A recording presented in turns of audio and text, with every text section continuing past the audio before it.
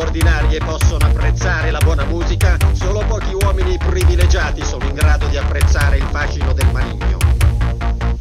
L'uomo che ha il coraggio di affrontare il suo Dio con ferrea volontà e che riesce a sconfiggerlo, ebbene sarà l'abitante di questo paradiso con tutte le sue bellezze.